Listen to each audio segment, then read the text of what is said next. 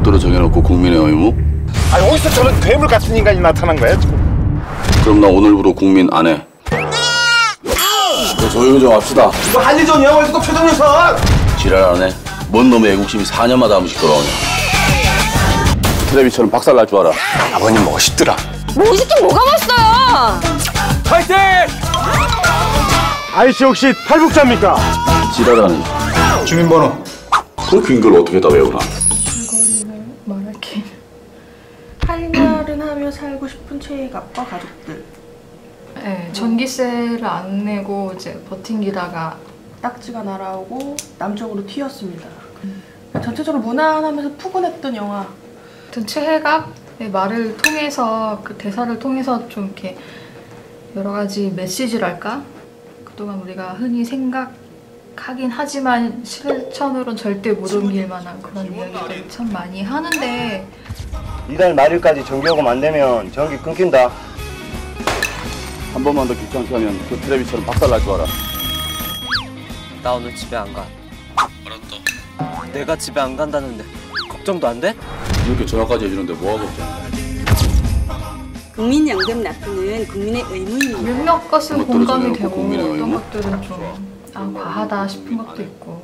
그리고 오연수 씨가 그 최혜갑의 부인이 막내딸이었죠. 막내딸 학교 교장 선생님 찾아가가지고 선생님 피부과 본인 돈으로 본인 돈으로 아니죠? 끊으신 거 아니죠? 당신이 기자야 뭐야? 오연수 씨가 살짝 약 올리면서 이제 촌지문제를 은연스레 건네는데 저, 저는 좀이 촌지문제에 좀 민감하고 아 이건 진짜 아니다 뭐 이렇게 생각해 왔기 때문에 너무 시원했고 통쾌했고 좋았습니다. 적지 않은 사람들이 최애갑이라는 캐릭터를 보면서 뭔가 대리만족, 카타르시스를 느끼지 않을까. 영화에서만 이렇게 좀 재밌고 보기에 통쾌하고 이렇지 진짜 이 사람이 현실에 이렇게 산다고 생각하면 바로 내 옆집에 이런 아저씨가 뭔가 공상관 아저씨가 나타나서 월드컵 보는데 와가지고 꼬장 부리면서 일침 날리고 이러면 솔직히 싫지 않아요? 이 사람 아, 웬 또라이야? 미쳤다. 이러면서 좀 이렇게 약간 이렇게 피할 것 같거든요 현실에서는. 뭐 자유분방어도 좋지만 어쨌든 자유라는 거는 다른 사람의 자유를 침해하지 않는 범위 내에서 이렇게 행해져야 되는 건데 물론 알겠어 애국심 마케팅 짜증나고 그런 거 알겠죠. 근데 그거를 굳이 꼭 그렇게 꺼가면서 다른 사람의 그런 자유를 방해해가면서까지 누릴 필요는 없었는데 곳곳에서 봤을 때 아 이 사람의 자유분방한 캐릭터를 살려주기 위해서 너무 과한 시도를 했다 그러니까 국가, 뭐 형식, 그리고 돈, 자본을 또 굉장히 싫어하죠. 국가, 자본을 싫어하는 그런 아나키스트요 네 아나키스트 같아요. 각자 다를 것 같아요. 보는 관객들이 아 이거는 정말 부정하다라고 생각했던 문제의식을 갖고 있던 부분에 있어서는 최애갑에 공감하지만 몇몇 부분들에 있어서는 아 저건 좀 거시기 하네 라는 생각을 가질 수 있을 것 같고 그 부분에서 이 영화는 너무 통쾌하고 재밌어요 라는 부분과 아 이거 좀 거북한데? 라는 부분이 좀 갈릴 수 있을 것 같아요. 저는 뭐 굳이 따지자면 통쾌한 쪽에 가까웠고 나중에 제가 만약에 나이를 먹으면 정말 그렇게 살아보고 싶어요. 남쪽이든 강원도든 가서 네, 남쪽으로 튀면 튀는 건데 뭐 좋아요. 근데 사실 내고 튀는 거잖아. 그쵸. 전기는 있는 데서 쓰고 그거 안 쓰지 말든가 그 서울 집에서도 시골에 살 때처럼 발전기 돌리든지 뭐. 김우석 씨가 영화를 그러니까 연기를 참 잘했지만 뭔가 조금씩 이렇게 연기한다라는 느낌이 조금 많이 들었고 이거는 어쩔 수 없이 영화야라는 생각이 들, 계속 들었거든요. 그러니까 보면서 내가 좀 푹 빠져서 이 인물들 중에 한 명에게 막 공감을 너무 심하게 이렇게 몰입을 한다든지 제가 그, 그 안으로 들어가는 그런 지점이 있어야 되는데 그거를 잘 못 느꼈어요. 그 발 하나만 살짝 담근 느낌? 답답함을 느꼈다면은 계속 현실의 장벽에 부딪혔던 것 같아요, 이 가족들이.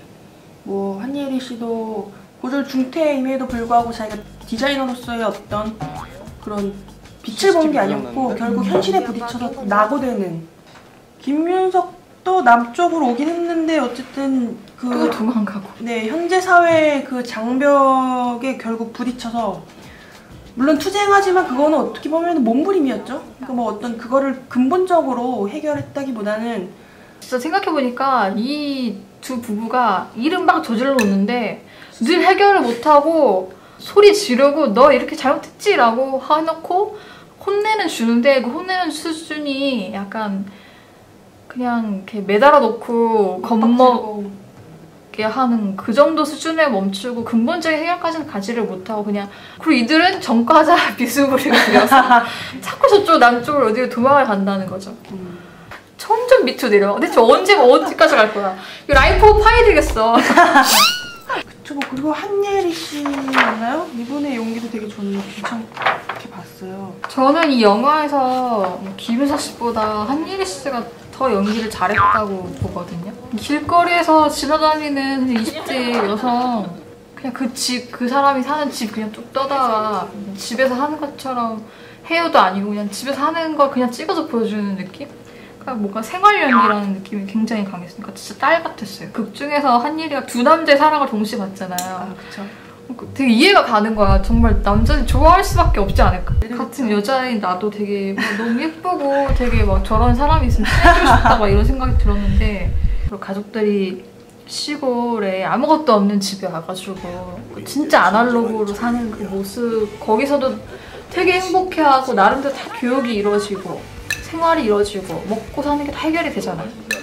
저는 그런 삶을 좀 꿈꾸는 게 있기 때문에 뭐 아까도 뭐 섬에 가서 살고 싶다고 이렇게 얘기를 한 것 같은데 저도 그런 식으로 무소유를 실천하는 또 너무 극렬하게 국가라는 걸 반대를 하니까 거기서 살짝 조금 이 사람이 원하는 결과 자체는 굉장히 소박하고 아름답고 그런 건 알겠는데 그렇다고 해서 국가에 행해야 될 의무를 막무가내 식으로 떼쓰기 식으로 막 대항하거나 해서는 안 된다고 생각을 해요. 어떤 이상의 결과를 위해서 항상 그 수단이 정당화될 수는 없다. 그럼 왜 이렇게밖에 문제를 해결할 수 없을까?